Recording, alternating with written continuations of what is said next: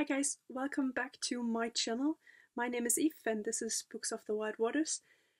Today I will be talking about my Christmas book haul. I know it's a bit late, but we are all interested in books, right? We want to know what other people are reading and I thought I would like to show these books to you because probably you will see some of them later in the year appearing in wrap-ups.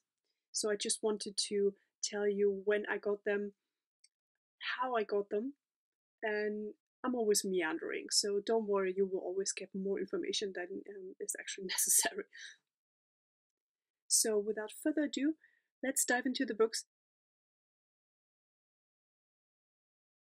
And you will see that I obviously only have one look. You will know what I mean later.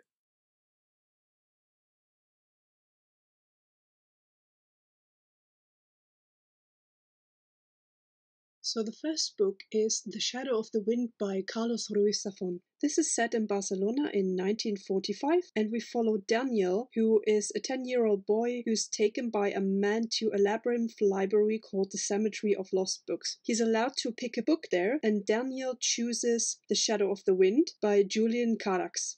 Now, later in his life, loads of people will be very interested in this book, and there seems to be also a man who tries to destroy all of the books that the author, Julian Carax, has written. This book is the first book in the Cemetery of Forgotten Books series, and that's actually all I know. And I think this sounds so mysterious. I really want to know what's going on there. I've heard some negative comments about the translation because, of course, this is translated from Spanish, but I try not to think about that, and I'm really, really looking forward to reading this.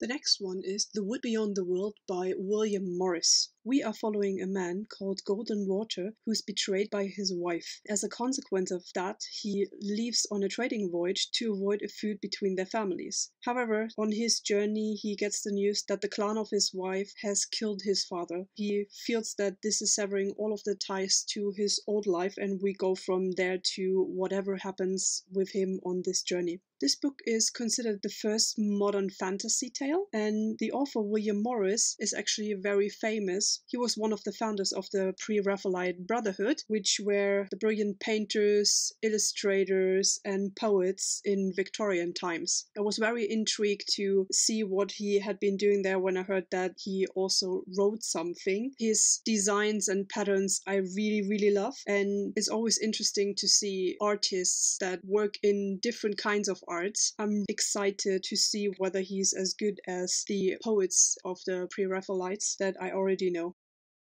The next book I'm really excited about because I found it in a bookstore in Sheffield when I visited the Peak District last summer. And I could not stop thinking about it actually. I put it on my wish list and I almost bought it for a couple of times. In the end, it ended up on my uh, Christmas wish list for my friend. and I'm so happy that she actually bought it for me because otherwise I would probably still look at it and think about why I should maybe. Yes, it's the intoxicating Mr. Lavelle by Neil Blackmore. We are following Ben and Edgar Bowen, who are two young aristocrats on their grand tour through Europe. They want to make an impression and enter high society, as it was done by most of them, but they have to realize quite early on that they are not fashionable and interesting enough to stir some of the people that have influence. They will meet a man called Horace Lavelle and are quite fascinated by him. He's part of high society and he doesn't like it at all. It seems like he's very bored by all of the pretensions and prejudices and will probably influence the two young men in that direction. And we go on from there. I have no idea what's happening. This is historical fiction, so I guess we are in for a huge tragedy happening in the end, but let's see.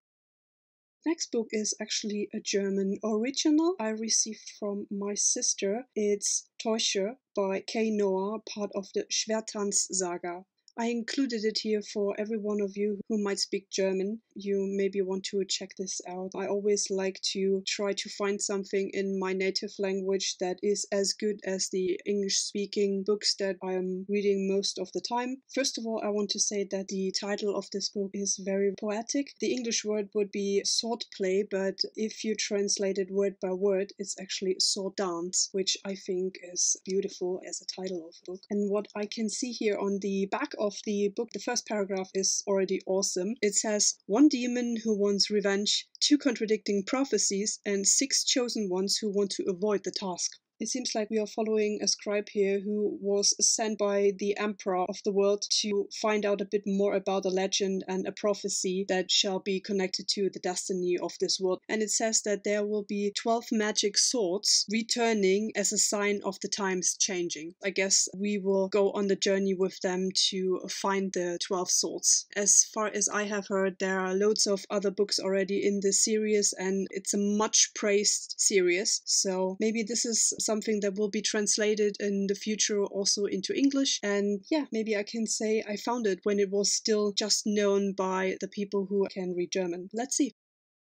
Next up, we have a very surprising book and a frightening task that was bestowed upon me by my flatmate. Little did she know that when she bought this book that it is actually book number 3 in a very famous series of historical fiction novels that also won the Man Booker Prize and are all thick boys. And when I mean thick boys, I mean like huge, like monsters. I'm talking about The Mirror and the Light by Hilary Mantel, which is is, of course, the third book in the series about Thomas Cromwell's rise and fall in the 16th century. We know that the first book is Wolf Hall, and after that, it's Bring Up the Bodies. And I'm afraid when I think about how many pages I will have to read to actually get to my Christmas present in the end. But, you know, challenges. It's always good to have them. And I actually wanted to read more historical fiction anyway in 2021. So let's see whether I will go on the journey and start with Wolf Hall sometime by the end of the year. I cannot promise anyone that I will read all of the three books this year. Everyone who knows me knows that I hate long books and I always try to avoid them or to just read, let's say, a maximum of five really long books in the year because I want to get to other the stories. But yes, um, as I said,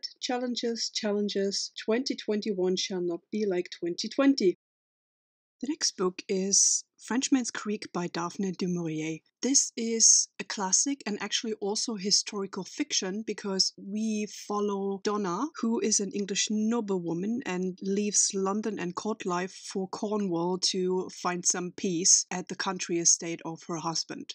There she meets a French pirate with whom she embarks on a journey, and they obviously want to steal something. That's all I know about it. Daphne du Maurier is very famous for Rebecca and for her gothic style, and this is why I wanted to read this. I'm absolutely excited. If I like this, I will probably read all of her books later. Next up is A Dress for the Wicked by Autumn Krause. Now, this seems to be Project Runway in a fantasy story, I think. And I thought, you know, sabotage is always in style, says already a lot. Here we have a very prestigious fashion house that actually opens their design competition to tailors that are actually not situated in the cities. We have a country girl here who's going to the big city to try and become the next best designer. As you can imagine, whenever there are a lot of girls coming together who compete compete with each other for dresses and fabrics and becoming an apprentice, then there must be a lot of intrigue, a lot of problems, and probably, as we have heard already before, a lot of sabotage here. It seems like this girl needs to try to survive, not just to win the competition. I don't know what it is, but I like designing stuff. I don't know. Maybe I'm just interested in clothing, or I have no idea, but I like the premise of following a tailor or some kind of a competition back in time or in a fantasy setting and find out what's going on there. I'm quite sure that the girls will kill each other for becoming the apprentice. It will be so entertaining. My connection to the next book actually goes way back to eighth grade, I think, when one of my classmates recommended this book to me, but I was not interested at the time. Well, as you can think, we change as people, and nowadays I really, really am interested in this book. It's The Mists of Avalon by Marion Zimmer Bradley. If you've watched my best books of 2020, you know that I have been reading Lancelot by Giles Kristian, which is a retelling of the Arthurian legend. As you can see from this title here, already. This is a retelling of King Arthur's story and Camelot as well. The special thing here is that it's narrated by the women of the story. So Morgaine, Guinevere, the priestess of Avalon, etc. I thought this is a very interesting take on it, and I'm absolutely excited. It's a very, very famous book. It was published in 1983, as far as I've seen, is even just the first book in a longer series. I'm looking forward to this, and finally, after almost 20 years, to read this will be a very special situation for me. The next offer is the only one that accidentally happens to be twice on this list for my book haul because I saw the first one that I'm showing you here now, which is Angel Mage by Garth Nix in a YouTube video by someone else. And I thought, like, this is totally interesting. And later on in the month of December, I found another book of him that you will see later, which had a very interesting title and intrigued me there. So we have here a tale that reminds me of of a mix of biblical stories, old Rome and France. I don't know how this is connected with each other, but we have Lilith, who seems to be an angel mage and tries to be reunited with the archangel of Istara, which is her immortal lover, I think. And as much as I get it, she must be a witch because she can manipulate angels and then probably demons as well. We don't know. She's trying, with the help of four people that she wants to probably manipulate as well, to reach her go and get back to her lover. And it seems like in this world there has been a plague before and she has been involved. As you can see, there's even Joe Abercrombie saying that this is the most original magic he has seen in years. So this is very intriguing to me. The next three books are actually the YA equivalent to what I did last year with the adult fantasy series. I picked up the most famous and most prestigious fantasy series to check out whether I like them as well. I did this with YA fantasy in December because my plan was to read them now in 2021. Next up is A Court of Thorns and Roses by Sarah J. Maas. So, if you're a YA expert, then you know Sarah J. Maas. Her name is everywhere in, in everyone's video that I watch, at least it looks like this. This is the first installment of a very famous series. We are following Feyre, who is the daughter of an impoverished nobleman, and she tries to get her family through the winter and she is going hunting. She unfortunately kills a wolf which was not a wolf. And there we get into fairyland because the fairies take her to fairyland as a punishment and she gets to know a high lord there. Of course, there will be a romance. Let's see what's happening. It might get steamy, I don't know. I heard different things, but usually the series is either having supporters or haters. So I'm very interested to see where I will find myself once I have read it.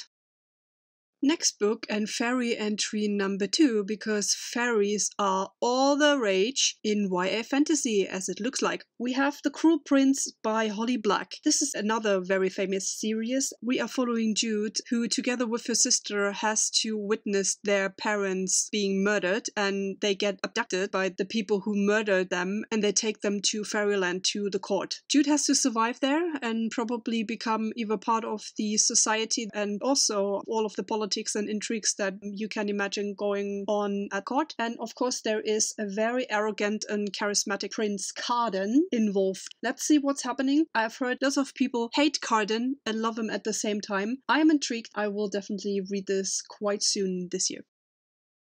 And the last one in this YA fantasy part is Serpent and Dove by Shelby Mahurin. This was published, I think, in 2019, and I must say I have seen almost only positive things about this book. And even those who think it's not exactly high prose, they think this is at least extremely entertaining and a real page turner. The only thing I know it's about a witch and a witch hunter who have to get married to get rid of some problems on both of their sides he doesn't know that she is a witch. So this is actually not exactly the perfect situation because at one point he has to find out she is a witch. What will happen? We don't know. I guess there will be a romance here. And I have heard that the female protagonist is quite funny. This is something that I really, really appreciate because it's really hard to make me laugh. Let's see whether she can do it and whether in the end she will be burning at the stake. Hopefully not. I have heard there is a second book that I might be